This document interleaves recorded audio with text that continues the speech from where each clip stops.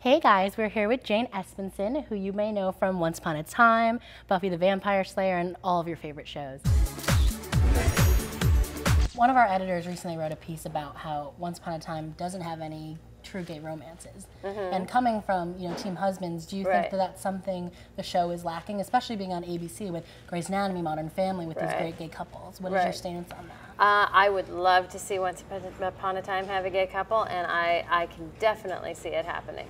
obviously it's a very fine line to walk. Being able to write that, like I know that you all are, have some hard time being able to say like, oh, that will happen because it's Right. something that doesn't really make sense for the characters. Well, and it's it's a long again. It's it's an ever question. Yeah. Um, so, uh, but I think that I love all the ships. I see all the pairings. Like they all make sense to me. Yeah. Um, and uh, it's a matter of yeah, what's going to make sense for our show. What can we expect going into season three with all these twists and turns that have been pushed up? I know you probably haven't done a lot of writing yet, but is there anything that you can?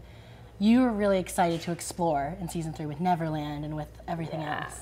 Well, yeah, the end of season two, uh, they're taking off for uh, Neverland, and so that, yeah, that season three is that adventure, and I really think people are going to love where we're going in season three. Um, we are really focusing in on the emotional arcs of these characters, particularly Yeah. our core characters. And we're used to seeing uh, fairy tales flipped on their head on Once Upon a Time. Right. Um, some are more traditional, but with Peter Pan, he's like this evil shadow.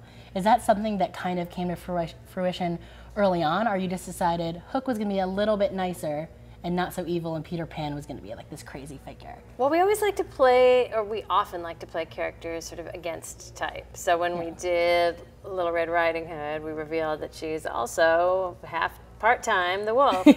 um, and so we like to figure what sort of what's a new take on this character. And also, um, Emily D. Ravine recently said that she's going to be sticking on a series regular. You'll see a lot of her, and she's kind of running the town. Will she be mayor? Will she just be putting this this sheath on the town to save them? Uh, do you see Belle being able to take charge in this new role? Yeah, it's Emily de Ravin, and yeah, I, I think Belle is a very strong person and a strong character, and uh, uh, I can't say yet what her role is going to be back in the town, but she's been yeah left in charge of a town. Are Rumple and Belle doomed? Is like should Rumbelle fans go and cry in the corner now because because it it seems that if Rumple leaves, he's acting like he's never coming back.